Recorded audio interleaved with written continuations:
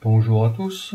Donc aujourd'hui, euh, je vous propose euh, deux méthodes pour ouvrir euh, les cylindres JPM ou CISA avec des profils de sécurité hein, SP.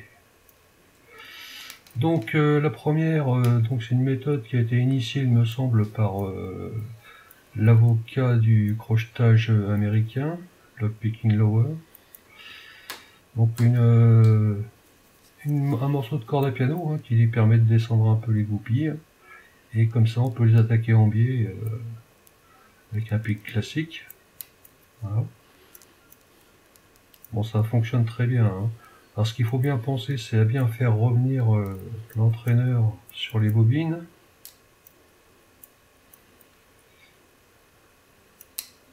Voilà.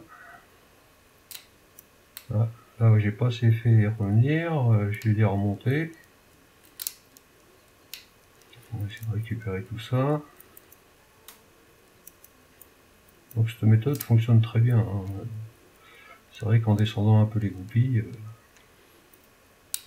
on y a accès et le profil de sécurité n'est plus très... Euh, voilà, donc ouverture.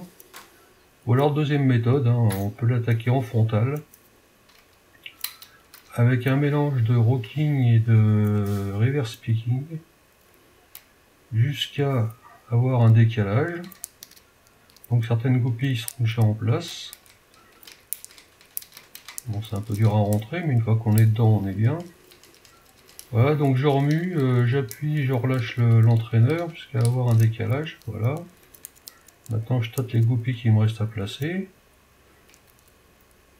Voilà la troisième.